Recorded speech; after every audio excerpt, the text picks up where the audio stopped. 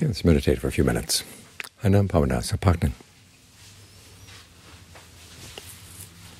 Close your eyes and try to stay with the breath, all the way in, all the way out.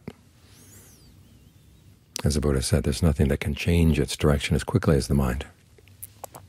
Even the flash of an eye is too slow for how quickly the mind can suddenly change its opinions about everything. Which just means we have to guard against that.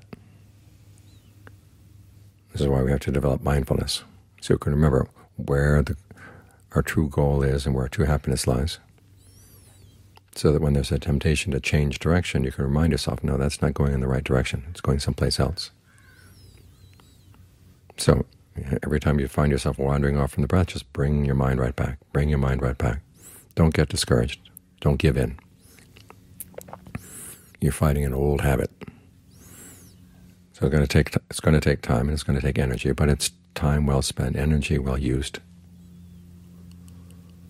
because we want the mind to get consistently on the right path. Otherwise, it follows one path here and then jumps over to another path going someplace else and ends up going nowhere at all, because it can't make up its mind where it wants to go. But if you decide you want to work for true happiness and you realize that training the mind is how it's done, then you stick with it.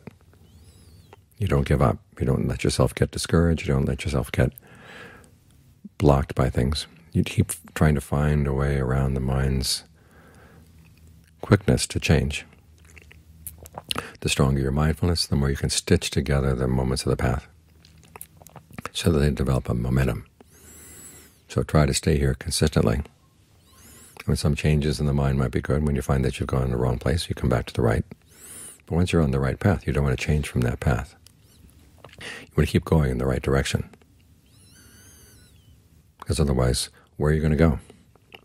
The mind just wanders around. The Buddhist picture of the universe is just beings just wandering around aimlessly, going up and going down. They're going up again, then going down again, coming back to the same old place again and again, and suffering a lot in the process. But if we make up our mind we want to get out of that process and find a better direction, we can do that. The Buddha calls this directing yourself rightly. In other words, making up your mind that you really do want to find true happiness, and you follow the path. You stick with it. So develop your mindfulness to keep reminding yourself of what the direction is you want to go, and use your discernment to detect which thoughts in the mind are going in that direction, which ones are not. So when you put your mindfulness together with your discernment, as they say in Thai, the, the, the Thai word for intelligence is mindfulness discernment. This is where you live your life intelligently.